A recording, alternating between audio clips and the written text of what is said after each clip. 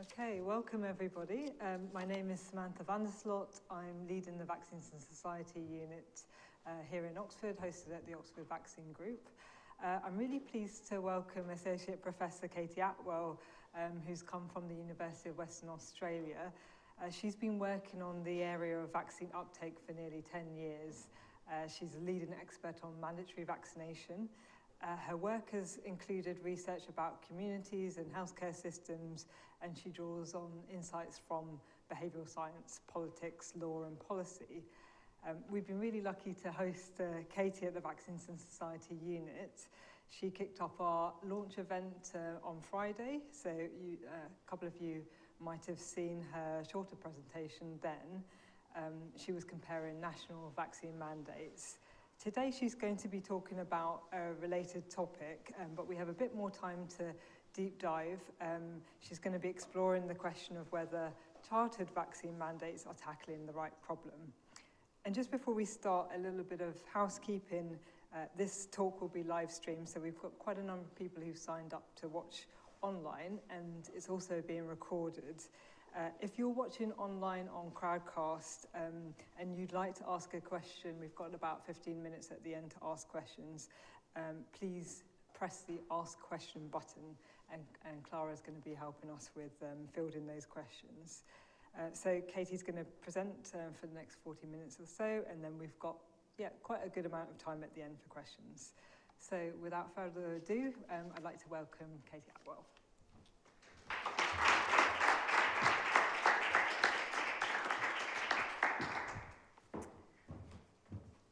Good afternoon, everyone. Uh, thank you so much for having me here at the Oxford Martin School. Sam, thank you so much for being a wonderful host to me here at Oxford. I'm having a wonderful time. And thanks to those who saw my presentation on Friday and have, have come back for more. I did promise it would be different content, and it is. You may find some familiar topics that I mentioned, but we're going to dive quite deep into them today. And to those who haven't seen me present yet, hello and welcome, and thank you for coming to watch, and thank you for watching online as well. So, before COVID 19 hit and uh, vaccine policy and vaccine mandates became an issue of absolute global preoccupation, there was another significant policy development. And it may have passed you by here in the UK because it didn't happen here.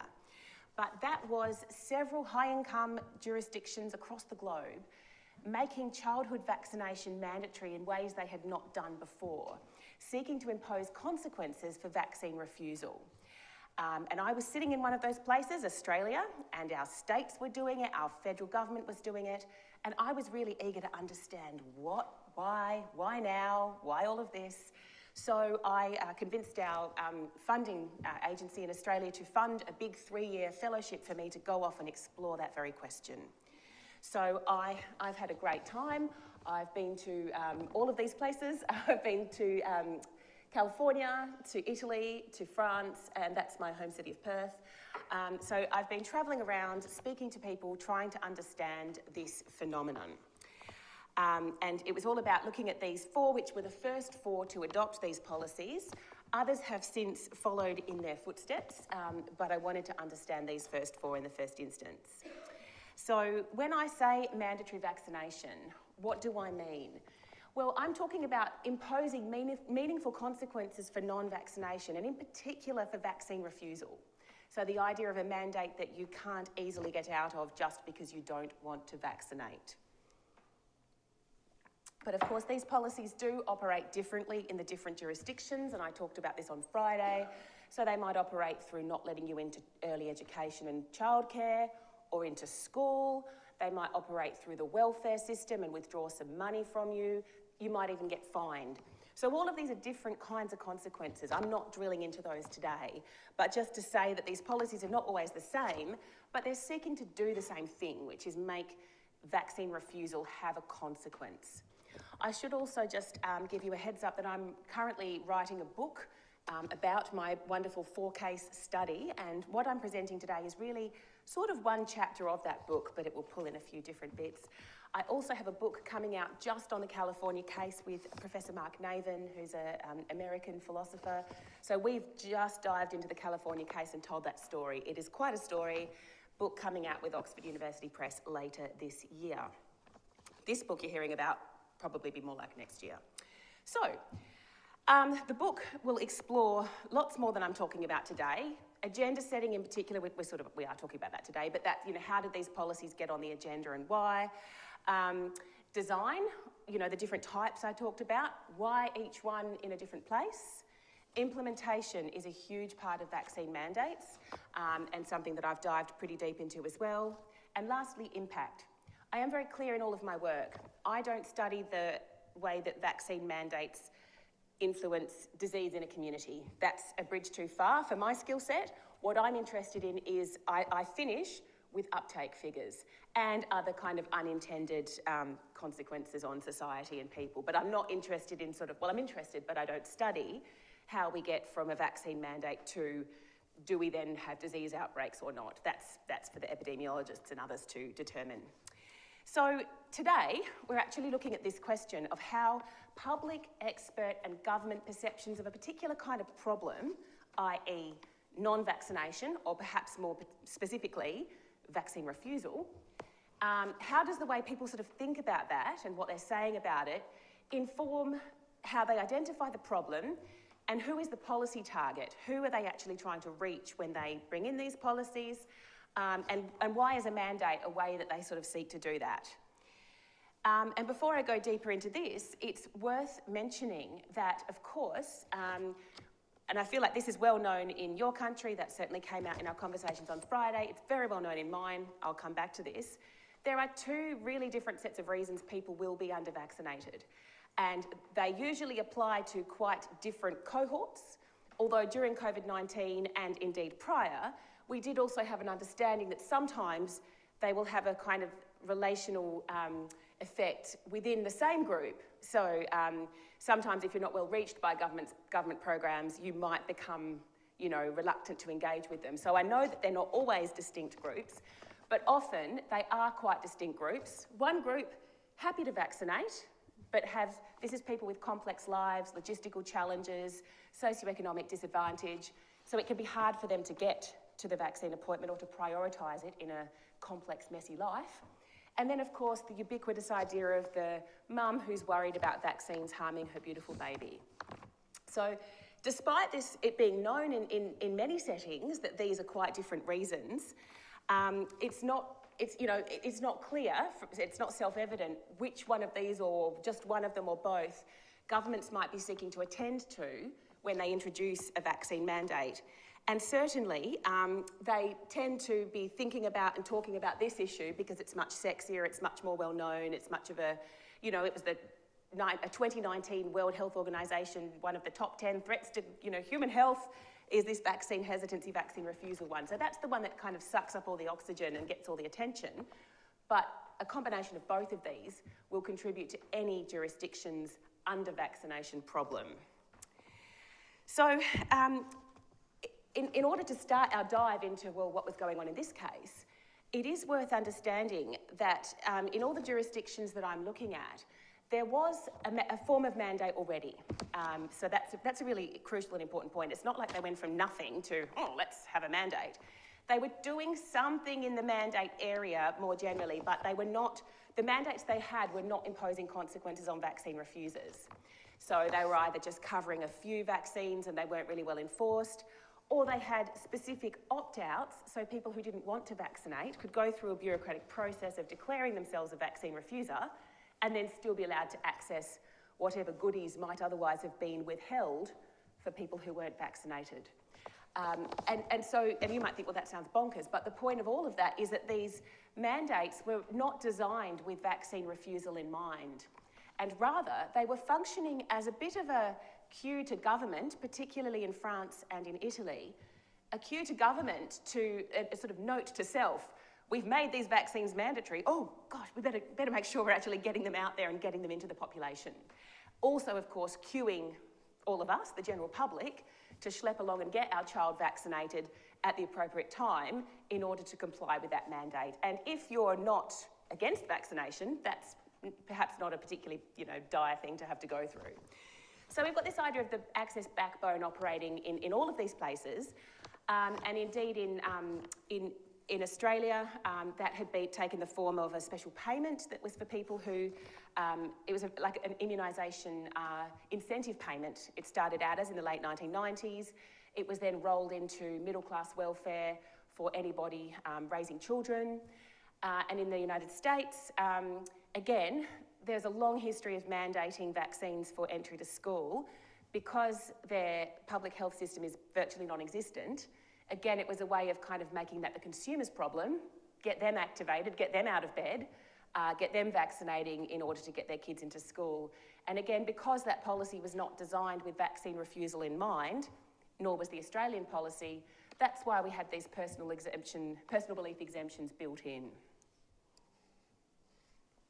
So, um, despite all of this, you know, we see the, the vaccine refusing parent being the problem, the contemporary problem, the contemporary articulation of a problem that has led to the adoption of mandates in each of these settings.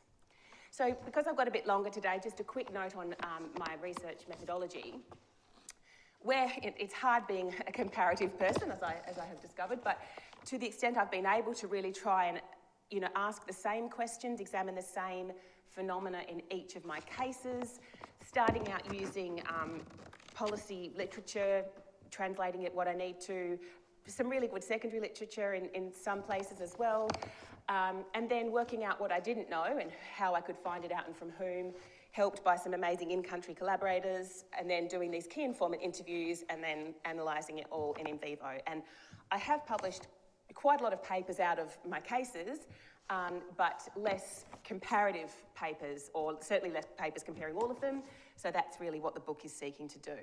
So who did I speak to? Well, you can see I dived pretty hard into my own country because the Australian states have their own vaccine mandates, which are all a little bit different, um, as well as a, a, national one. And then, um, you, again, you can see the, the people I spoke to in um, the other jurisdictions and the kinds of people I spoke to who, um, and with the pro-vax activists and academics, as well as people who were involved. Um, what am I Oh, I'm rustling. Apologies. I'm, okay, yeah, sorry. I'm, I'm too flamboyant. Thank you. Um, yes, uh, so certainly um, speaking to these people because they're involved in the implementation or were intimately sort of had some know how about how and why things happened. So, pretty good sense of what did happen in each jurisdiction as a result of these interviews. So, perhaps the most important um, thing that I want to start with in, in, in sharing my findings is that you know, I kind of went into this thinking, oh, you know, vaccine hesitancy or, and, and, refusal is, is sort of a global problem. It is understood as a global problem. So it makes sense that each, it makes sense that a bunch of countries or jurisdictions would choose to act on it at the same time and, and to act on it in the same sort of way because, let's face it, if you're dealing with recalcitrant parents who don't want to do something and it, the thing you want them to do is important, one way to do it is just try and make them. So it's not that surprising that we would see this kind of happening at the same time. But when I dived in, what I discovered was that um, the drivers in each setting were uniquely local. And although vaccine refusal played a part in all of them, um, it was certainly never the sole factor, and sometimes not, not even necessarily the major factor, um, and certainly not, not, all epidemiological. And what I mean by that is not everyone was facing the sort of crisis of, oh my goodness, if we don't mandate tomorrow, measles will be back the day after. It wasn't that situation everywhere. And the way I want to unpack this is by drawing this distinction between functional problems and political problems. So, what do I mean? Well, sometimes a system will face functional problems, as in it's literally going to break and fall apart. So, if your vaccination system breaks and fall apart, falls apart, you won't have sufficient vaccine coverage in your population, and then those diseases will come back. Um, and sometimes you, your system might not face a functional problem, but there might be political drivers that inspire or promote political actors to bring about a policy change, even though the system is actually chugging along okay.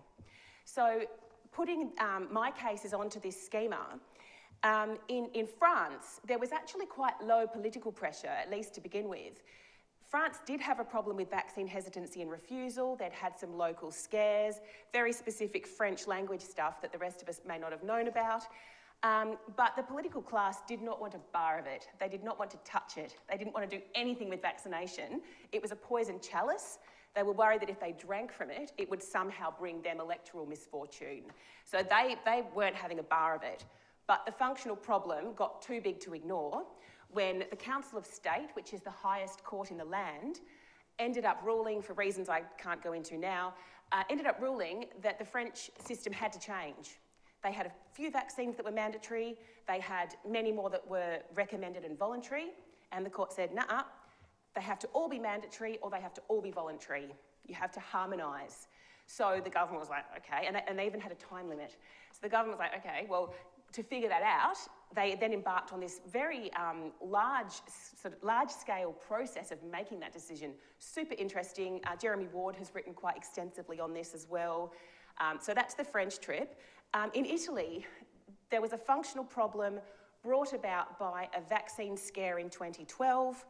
A lower court in the region of Rimini, uh, get this, made a ruling that vaccines had caused a child's autism. You heard me correctly. Um, and my colleague uh, Marco Rizzi and I have done a wonderful deep dive into how that happened and what happened as a response. So we've published a couple of articles on this, they're open access. You can have a read of them. It's, it's a fascinating story. Can you imagine what happened? Vaccine rates for MMR plummeted. And um, the system was not appropriately responsive to that. And so things just kind of went downhill over about five years in terms of vaccine coverage. And they ended up sort of having to mandate. So that was a functional problem. Um, but there were also political problems or political drivers because um, in the regions, pro-vaccine parents were getting antsy, regional actors were getting antsy. They even brought in their own mandates. And then as that start, you're going to start to get this patchwork of local policies. And they said to the national government, come on, step up, make a policy for all of us. So that was the sort of, so that's why I say there were high functional and high political pressures there. In Australia and California, these systems were not facing a significant threat from vaccine refusers in terms of um, at a general population level, rates were high, they were pretty stable. There were pockets of under-vaccination due to refusal, which were definitely a problem for, for um, outbreaks of disease, but this was not a system, you know, facing failure. What we instead saw was uh, political pressure. In Australia, just finished a, a, paper on this, currently submitting to a journal. Um, it was literally down to one policy entrepreneur, a deputy editor of a populist um, tabloid newspaper, who, who designed and popularised the Australian vaccine mandates right down to the names of those policies. So our account of her is, is you know, really shows what, a, what an incredible situation this was, that really one person mobilised all of this um, media and community power to drive those political changes in Australia. And in California, um, the parent activists, Sam's written on these as well. Um, obviously, we look at them quite a lot in the book on California. These were people who got upset that vaccine refusers had basically been able to have a society that catered for them. They could go anywhere, they could do anything. There were no consequences for their refusal. And these parents who were vaccinating their kids and still finding that their communities were unsafe got kind of angry and wanted to reconfigure society so that that would no longer be the case. So that's the functional and political pressures. So what I want to explore now is, um, and this is now getting into this question of our vaccine mandates solving uh, the, or tackling the right kind of problem, is some baseline things that you would want governments to kind of think about before they were going to mandate vaccines. And so the first question here is, okay, well, for me anyway, this was the next logical place to go in my inquiry. So what is government actually doing to make vaccination easy and possible for people? Um, and are they doing anything that's making it hard and, and, and you know, imposing barriers? And that was quite a interesting journey. So the things that governments can do, this is how I sort of separate them into, you know, earlier I guess I talked about that access and acceptance distinction. These don't quite map on, but they can map on a little bit. So in terms of wanting communities to be able to easily access vaccines, certainly what you want to be able to do is make vaccines free, Make the vaccination encounter free. So you're not having to pay to get it. You don't have to pay the person's time who's giving it to you. Um, and you want it to be easy for people to actually go and get them. So you want availability of clinics and things that are open at convenient times and all that sort of stuff. So you know, to me, I was like, well, that's sort of the least the state can do, really. Um, but, you know, it actually was not, um, it, I, was, I was shocked and appalled to find that actually that was not really happening in some of these places. So I won't go into the California example because I'm sure you all have a pretty good idea of how dismal the American public health system is. So I'm sure you can imagine that it's not just as simple as sort of everybody gets to rock up and get vaccinated for free. But I'll tell you about France because, you know, we have this idea, or at least I did in Australia, now France, you know, socialist society, you know, state looks after you. Let me talk you through getting your kid vaccinated in France. So you schlep along to the doctor and you get a prescription for the vaccine. Then you take your prescription and you schlep along to the pharmacy or the chemist and they give you the vaccine. And then you take the vaccine and if you're not going back to the doctor, you schlep home and you put it in the fridge to maintain cold chain. Then you get it out the fridge and you schlep back to the doctor and they vaccinate your kid. So I was appalled to hear about that system. I could not believe how difficult it was for French families to vaccinate their children, and it's not free. So the, the state isn't paying for those vaccines, never mind the encounters with the professionals that you might face. And in fact, when France made its new mandates, the government looked at, I told you they did this very elaborate sort of analysis of what they should do. And one of the things they looked at was, well, how much would it cost us to just pay for everybody's vaccinations? Looked at the figure, nah, not going to do that. So they pay for some of it. Um, people's private health insurance pays for some of it. Um, there's not supposed to be a gap. There's clinics for poor people, but they really are for poor people and, and they're sort of not very easy to access. And so it's not, you know, I wouldn't take my kids there because, you know, it would be very clear that I should be doing it this other complicated way. So that was really quite shocking. So that's sort of that access piece, that access space. The other thing that governments need to be doing to facilitate and encourage vaccination is communications and persuasion. And I sort of mean a few different things by this. One thing I mean is that you need a kind of steady, slow drip feed of the idea, which will also activate people who are not hesitant or at risk of being hesitant. It will just remind them why they should be doing it, but also will kind of make the case for anybody that might otherwise be hesitant. Vaccines are important. They do a really good job of protecting you and your family and your loved ones.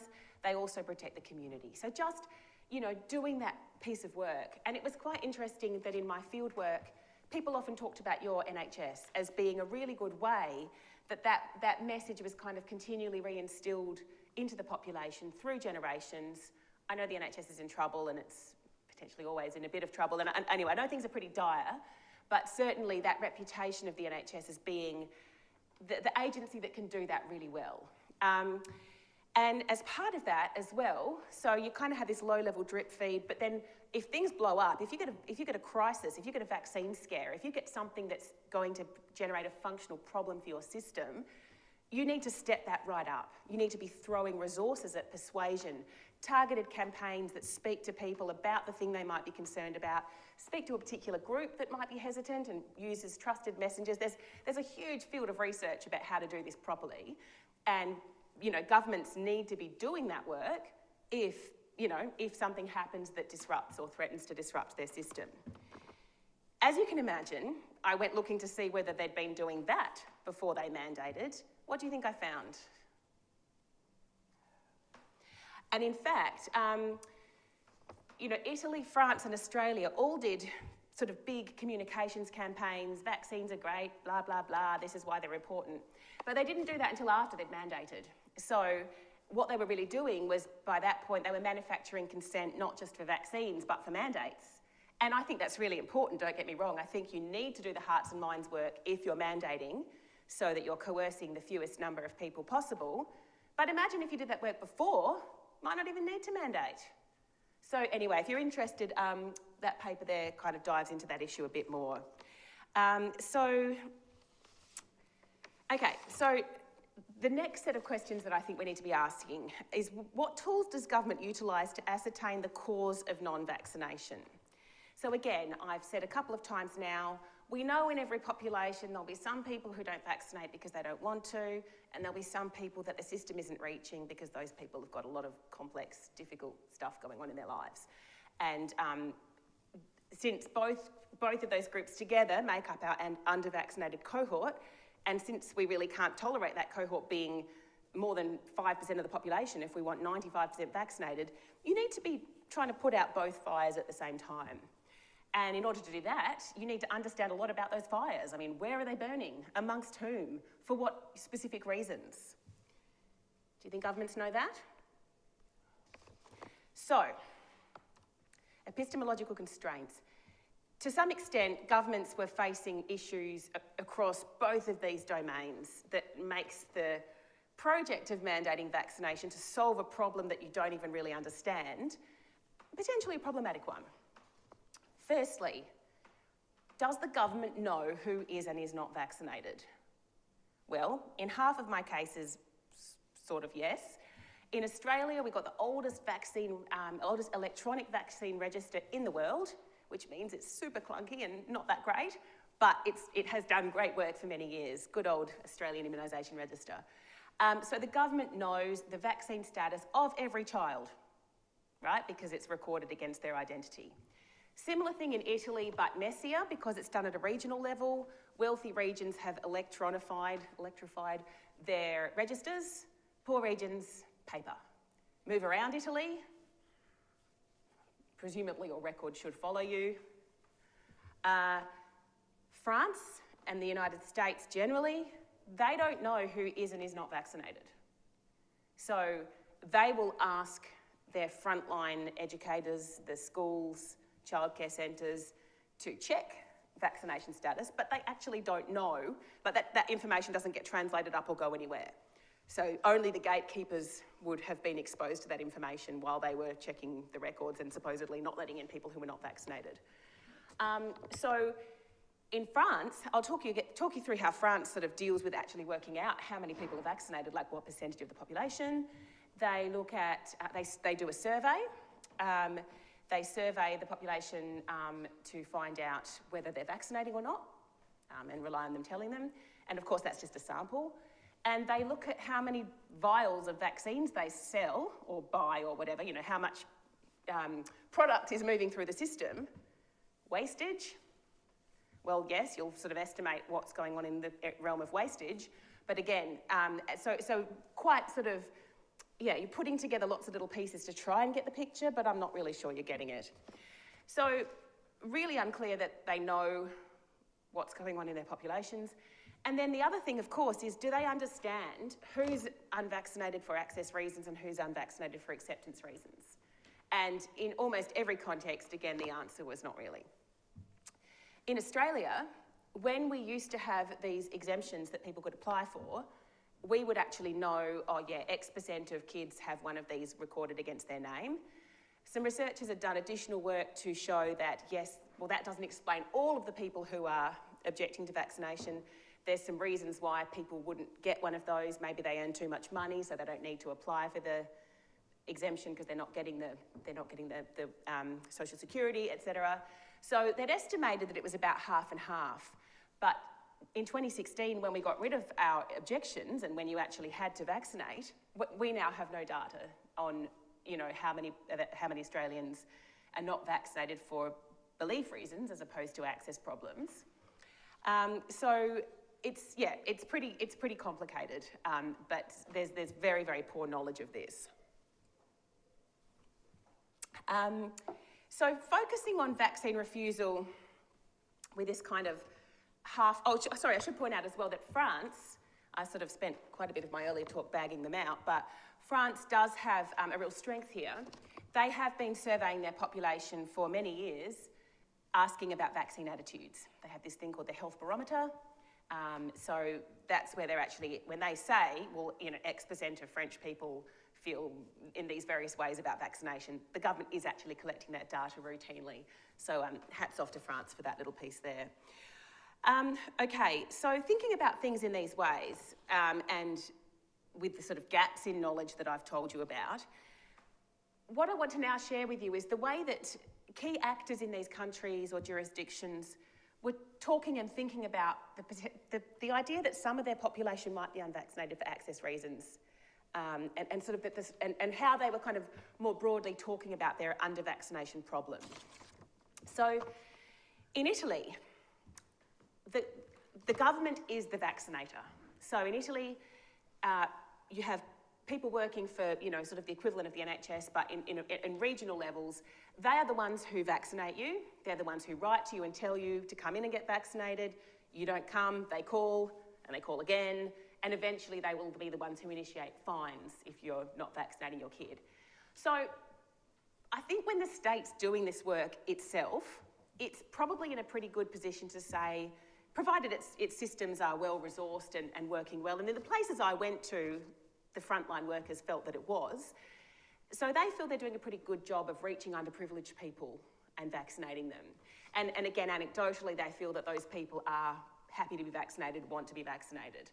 So, so it's sort of based on that that the government did reach this conclusion of our problem is an acceptance problem way more than it's an access problem. And I've told you the story about the court case and the you know falling rates. So it's you know that that certainly lines up. Part of the story initially as well is that um, you know public communications you know of that big ambitious kind to tackle vaccine scares. Well, they don't really work because in Veneto, um, which is um, the wealthy um, area which includes Venice, sure you guys probably know that, but I have to include that for Australian audiences where people don't know. Um, they had experimented with the national government's um, approval and indeed encouragement with getting rid of all the old mandates. They'd had these mandates for a few vaccines, they were largely broken, they were largely not being used. So Veneto said, let's sweep them away. And it was all this sort of ambitious idea of let's be modern and European, which maybe meant let's be like the UK. Um, let's have everything voluntary. We're, we're a mature population. People will choose to vaccinate because it's the right thing to do. And the Venetian um, local government, were, they were really, the technocrats were really smart. They were really onto this and they said, righto, what we'll do is if our vaccination rates fall and, and there's a sort of trigger point, we'll unleash the comms and we will, you know, turn things around. So they had this grand plan of, for their experiment. But what happened was when that vaccine scare happened, Veneto hit the ground faster than anyone. So the people in the national government were like, uh-uh, okay, comms don't work. Um, Veneto was a failure.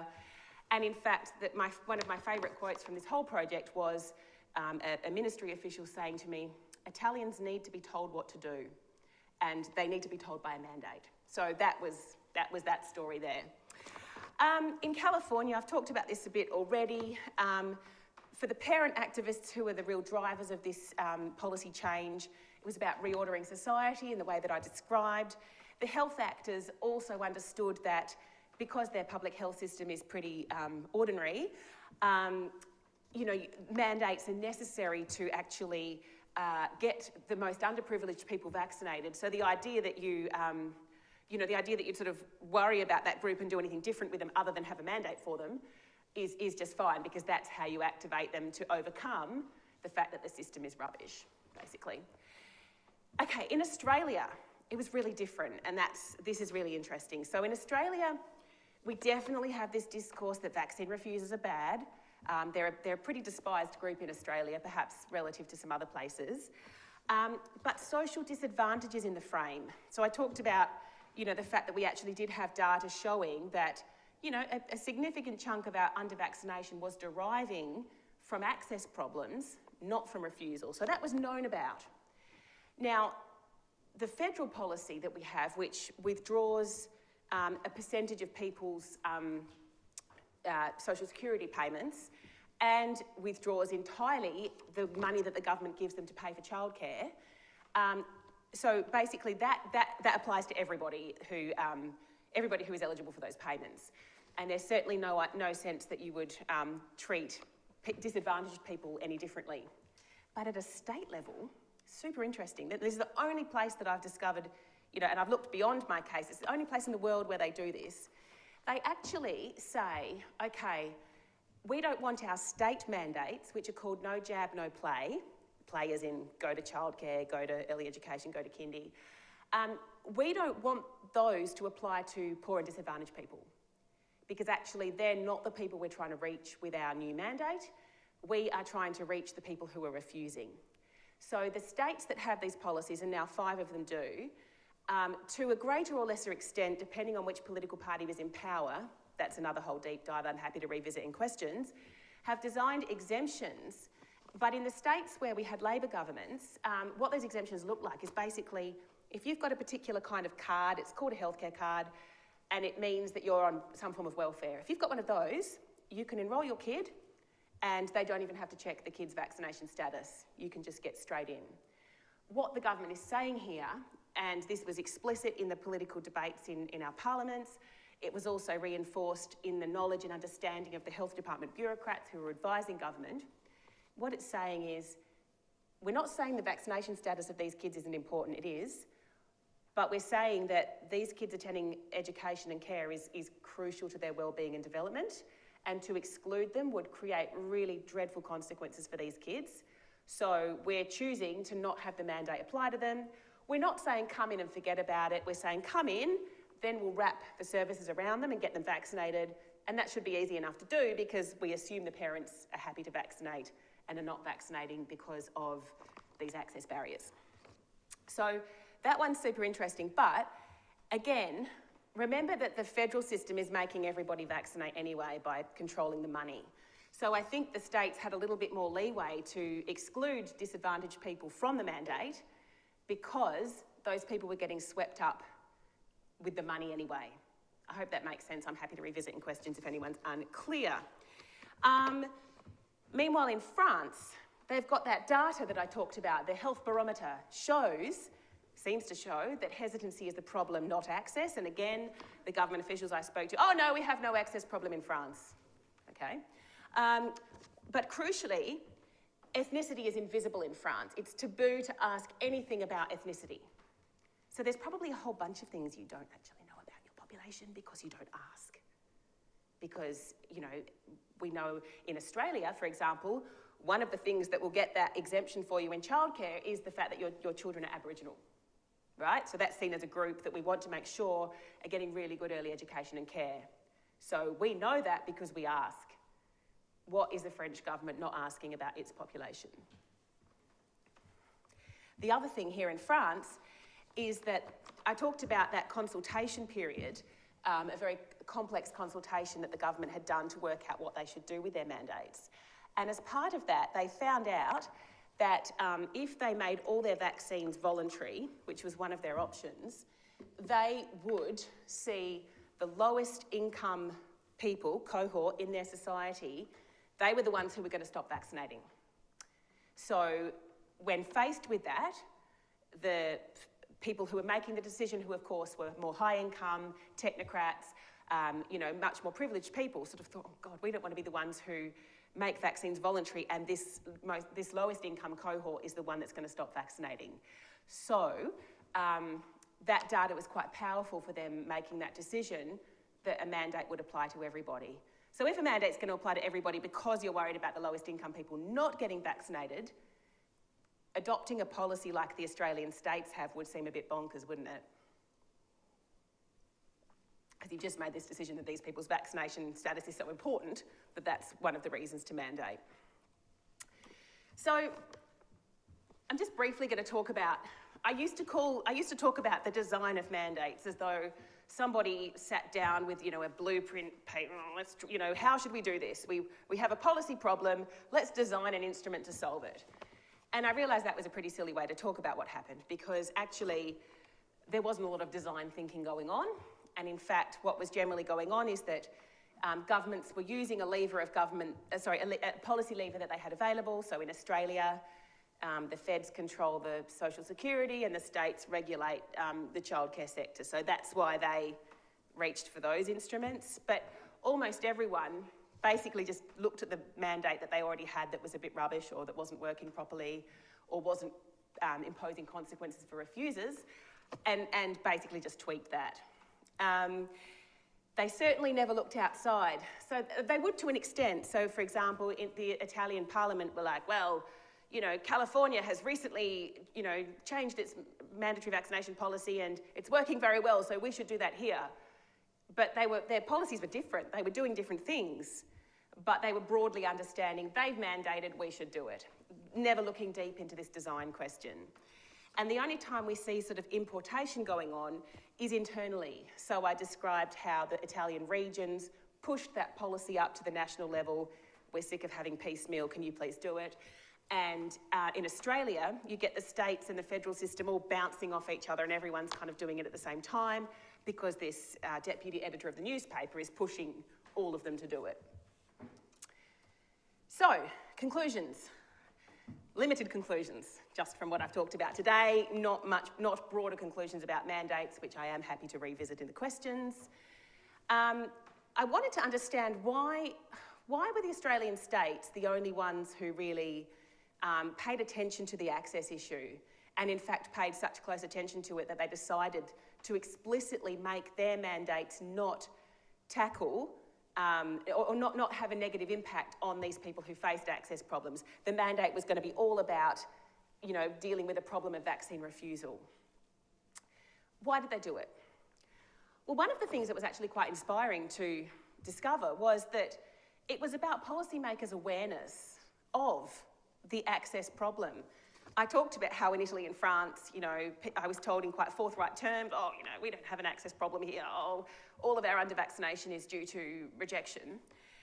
But the policymakers in Australia didn't think that, and they couldn't really get away with thinking or saying it because for years the academic community had been socialising them to understand these access barriers. Um, and in fact, you know, Professor Julie Leask, who is a, a, a global leader in this field, um, and the generation of vaccination social scientists that she's brought up and inspired, and of which I'm one, we've all been talking about this for a long time. And every couple of years we have a conference where the academics get to present to the policymakers. Um, it's a national thing, so all the state actors are together. Um, and, and I just feel like this stuff is absolutely in the kind of policy ecosystem, in the soup, um, and it's known about. And so when when the policies were coming in at a state level, certainly the Labor the Labor politicians who brought this in were very receptive to the idea that you want to protect these socially disadvantaged groups. You, you don't want to sweep them up with a mandate and somehow make their lives worse. Um, but also, you know, the, the bureaucrats would have been there as well, speaking truth to power and saying, hey, like, I know you're seeing vaccine refusal as the problem. How's about we don't make another problem for these disadvantaged people in the process? Um, so that, that's quite, that was, as I said, that was quite an inspiring thing to, to discover. Um, and the rest I've really already talked about, but I'll just reiterate briefly. Um, as well, I think the Australian states could afford to make that decision because the federal policy was already governing people's behaviour, everybody's, and the federal system is just like ruthlessly bureaucratic. You know, your, your payment will be terminated in 55 days as your child is not up to date. You just get these dreadful form letters that get sent out. So, you know, there was no, no um, accommodating social disadvantage there. It's just we're turning off the money tap, run off and get vaccinated. Um, and in continental Europe, as I've suggested, there was a bit more of this paternalistic approach. And by paternalistic, I don't necessarily mean bad, but I mean that they saw that mandates would, would do a really important job for the, the most disadvantaged people in, in the community. And yes, those people might be disadvantaged further by not being allowed into early education or care if they're not vaccinated and then they've got to wait till they're fully vaccinated and then they can come. Um, but they really felt that, that, their mandates, especially in France, were doing important work for that group. So it would be perverse to have an exemption for those people. And again, in California, even more so, because their mandate had, had its roots in that access backbone that was about activating people in the absence of a public health system to get vaccinated. Um, and, and, therefore, that's the thing they're relying on to get everybody vaccinated again, it would seem perverse that you would have an exemption for people who are poor and disadvantaged. So, I'm very proud of myself because I've done that, I think, under time. Um, I'd like to acknowledge my wonderful funder, the Australian Research Council of the Australian Government. Um, and thank you all for coming. And I think I'm now going to go and sit over here with Sam, and we're going to have a chat.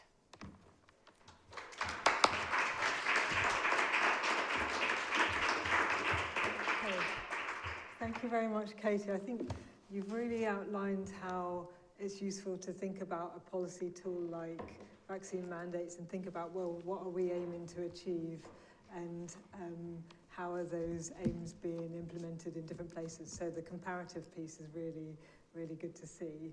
Um, I wondered if I could kick off with an initial question with, um, and I know you work quite well, but for the audience who might not know it as well. Um, why these four countries in particular? I'm sure you yeah, great question. This. It was literally that these were the first four cabs off the rank. Um, I was following California, that was obviously big global news. Then suddenly my own country's acting.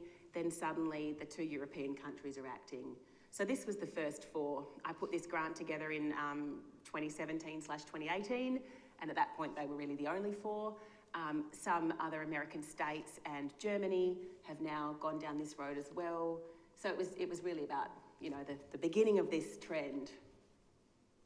And would you add any more to this list um, if you were starting today? Absolutely, yeah, yeah, I would. I, I would look at the other American states, and then I think you would see a, a very interesting thing of policy transfer happening from California to other places, and Germany again. I think um, Germany was super interesting because they brought in um, they brought in what we call mandatory declination, which is where you have a little bit like the conscientious objection thing. You have you have to vaccinate unless you formally go in and say that you're not going to. Um, and they that, that barely, I think that lasted a year or two, and then they're like, nah, okay, right, now we're going to have mandates, um, in particular for measles. So I think useful background. Um, should we take some questions from the audience? Excuse me, Um, so um, Isatur online has said compulsory vaccination policies have contributed substantially to the success of vaccines in the fight against infectious diseases.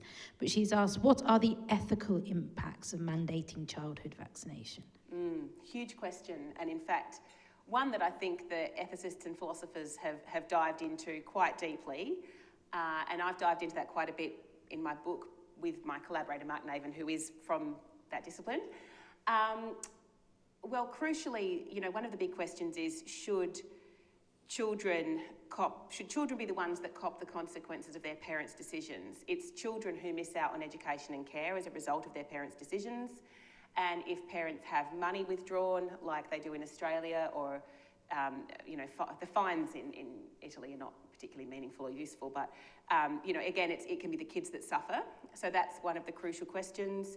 Um, but of course, another crucial question is, do we, you know, from a fairness perspective, are we all obligated to contribute to the project of what I call community protection and the hard scientists call herd immunity? Um, and, and, I'm quite persuaded by the idea that, that we are all called upon to contribute to that if we can. Some of us, of course, can't. Um, medical exemptions are for, are for, those people. So, yeah, it's, and, and I think, you know, from the research that I've done, I've ended up broadly where I started in that I'm not, I, I'm not against mandates for philosophical reasons.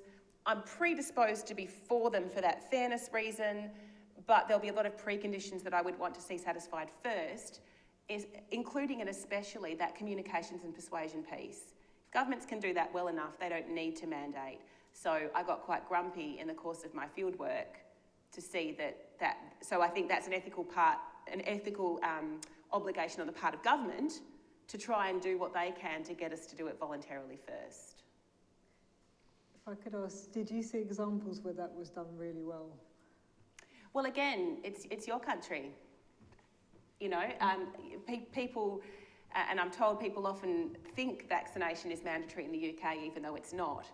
Um, and also this idea of the ubiquity of the NHS and the fact that it's, it's everywhere. It's, it's there when you're birthing, it's there when you have your child health visits. Um, it was there as you were growing up, it was providing you with what you needed. So the state is giving you, uh, and, and, it's, and, it, and you've got, the state's got all these opportunities to communicate with you about those things during the sort of the, the life cycle of the human. Um, so again, I, I, know that your lived experience of your health system is probably different than the, the sort of myth that goes out into the world. And, and, I didn't look at your case, but in the other cases that, you know, there was always uh, Britain on a pedestal. Thank you. So um, it's quite a big jump from uh, absolute freedom of choice to mandates. So my question is, are you aware of any of these countries considering the same kind of middle ground positions, for example, nudges or incentives? Because it seems to me all of these states jump from freedom to mm. mandating.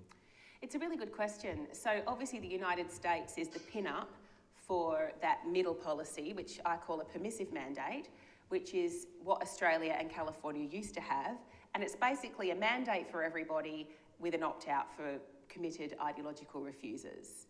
Um, that's a, you know, that's a historical artefact in America, America's vaccination policy, and, and it's an artefact of particular economic, social, and political conditions in America's history.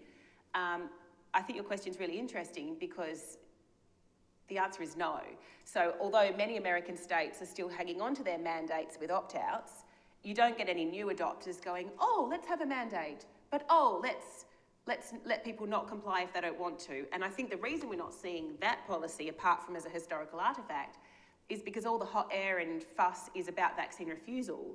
So why would you design a mandate that specifically let the people off the hook that you're kind of angry about and wanting to change their behaviour? So it would, yeah, I mean, COVID is, is a different story. And so I do want to be clear that I'm talking about childhood here, but I'm not seeing I'm not seeing anyone. The, the, the um, public health uh, scholars love the, they love the permissive mandate because it's sort of best of all worlds, activates everybody, doesn't coerce anybody. So they're always saying, oh yes, if you're going to mandate, this is the way to do it. But politically, I don't think it's appealing to policymakers. Um, Joanne has asked online, have any low and middle income countries implemented mandates? Well, here I might defer to my lovely um, host and convener. Um, you know, yes, well, I'll, I'll, I'll, preface and then, then hand over. I mean, mandates are used in a lot of, uh, a lot of contexts and countries around the world. I would say largely as an access backbone than, than as a recent policy adopted to tackle the pro perceived problem of vaccine refusal. Um, but I'll hand over to Sam. So, I mean, there are a, a lot of variations between um, these kind of mandates in uh, low and middle income countries. We did see um, quite a few over the last 10 years that seem to be in response to outbreaks, a bit like what we've seen in higher income countries.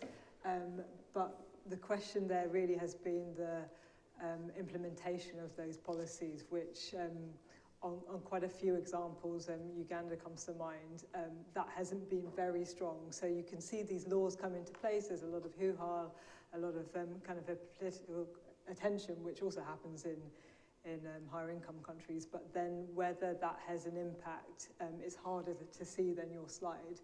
Um, it would be good to know if any mandates have had the reverse effect, because in general we, we kind of assume, well, mandates do work. Um, we haven't seen any examples of mandates that have um, had an impact and lowered vaccine rates, but I think you have to think about that on the longer term and whether they do have the potential to lower uptake at some point in the, in the future um, and even lead to the collapse of vac a vaccine program, um, which might be the case in um, Ukraine. Um, that's, that's one other example of possibly um, mandates um, having an adverse effect in that way. I think particularly if you've relied on mandates to do your heavy lifting, which was something that I was, you know, concerned that the cases I was looking at were doing. Uh, if you rely on your mandates to do, and, and that was that was what the Italian story showed as well. They'd been relying on their mandates, or at least the sort of appearance of a mandate, to do the heavy lifting. And if you formally took it away, and everyone knew you'd taken it away, like they did in Veneto, then suddenly it was very easy for people to stop. Hi, so I'm really interested by the Australian like approach. Um, so I kind of got two questions rolled into one. One being this idea of bringing kids into the system because they're not denied access um, to sort of like, you know, no jab, no play doesn't apply to kids from disadvantaged groups. Have you found that bringing them in to that system works faster than the kind of threat of the money tap going off? And is that kind of like access to this system where people are encouraging vaccination and providing sort of easier access working faster than waiting for that 55 days till the money goes off? Um, and then my second part of it is what happens in places like Tassie or like rural Queensland where you've got kids who ne aren't necessarily going into the same education systems? Is there a separate safety net that kind of is there to catch those kids? Can you just clarify the second part of the question? Do you, do you mean if people are homeschooling or something? What yeah, homeschooling or people who are going up, like, you know, rural Queensland, where they're going up on cattle ranches and stuff. Um, is it like, is that covered by flying doctors or something else mm. that kind of comes in instead? Okay, good questions. So, in, in, in answer to your first question, we, you know, we don't really have the data on that. Um, part of the cha- well, it's a, it's a good problem to have, but we're, we're talking about quite small numbers of kids, right, um, that, are, that are unvaccinated or that are unvaccinated in particular places. So I can't answer that question of whether turning off the money tap, uh, whether, whether wrapping around the kids and letting them in, you know, is more effective than turning off the money tap.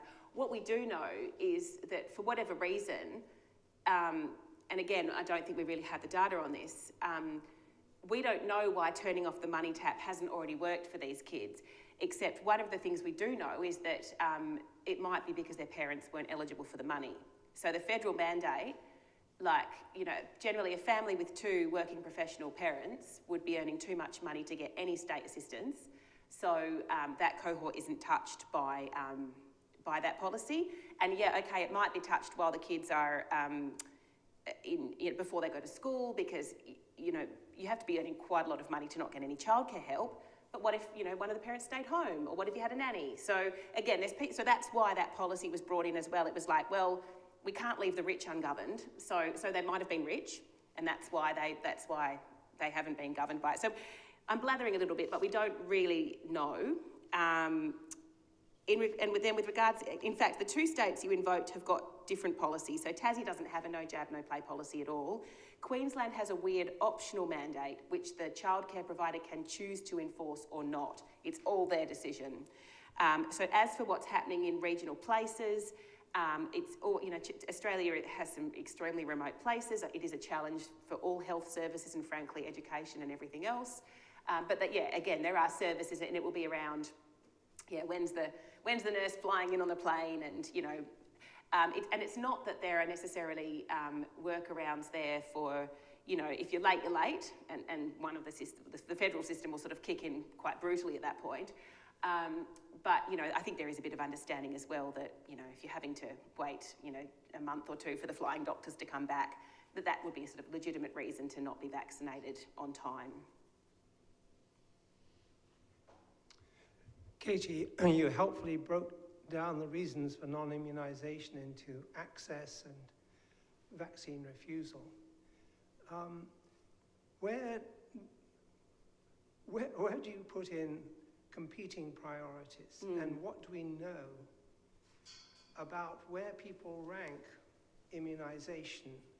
We live in a busy world mm. and I suspect that when many people are asked, why didn't you get your child immunized, they'd say, we just ran out of time.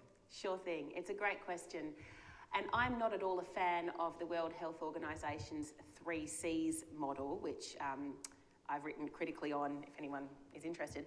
But that was picked up under this construct they call complacency, um, which is, a bit more, uh, is a lot more of a judgmental way of putting it than you have. You know, in, again, and I, so I think it is definitely a challenge. I would put that under access right, it, it, under my schema, which is to say that, yes, okay, the, the access group we should be most worried about are those who are poor and disadvantaged and have complex lives. But then there is this other group, you know, the frantic two family, two working parent household where, yeah, it, it's a challenge to just to get things done, all, all, all the logistical things to get them done.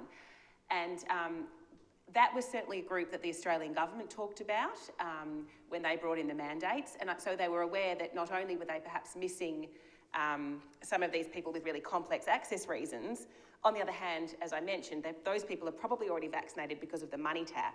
But the higher income earners, busy people, that's where you can tap in with the no jab, no play. These kids can't literally come to childcare or kindy. Um, so it's a, it's a but I, I, see, I do see that as a systemic piece as well. Um, in, in, that you know the system needs to make it as easy as possible, not just for the poor disadvantaged person without a car, which is a which means something different in Australia than it means here, um, or but also yeah the busy working person who might need a Saturday clinic or you know might need a very easy might, might need the vaccines to come and be done at school or at childcare. Could we take the last two questions together? So here and then there was one at Thank the back. you. I have one comment and one question. The comment is when you were asking Sam about a country that did it well, I have an example that did it really badly, and that's Czech Republic, where we have some child vaccinations mandatory, and there have been for very many years. And I look at uh, Czech Republic about six years ago, so perhaps they are a bit better now. I doubt it though. But the problem was that the vaccines were mandatory and there was absolutely no information from the government whatsoever. So if you were to Google vaccines, the only things that would come up would be anti-vax groups that have very accessible, beautiful, colorful websites um, with very, very well put together information, but obviously information that is wrong. And I just think, I thought this was absolutely tragic because this is, communication is the low-hanging fruit that the government could surely put together a website to communicate what they're doing. And I think this is like a nice way for the anti-vax to step in. Um, so that was just, just a comment. And my question is, do you think that we can perhaps expect um, a decrease in uptake of vaccines in perhaps Europe and USA for various reasons, but I mean mostly anti-vax groups and you know the spread of fake news on the internet and so on.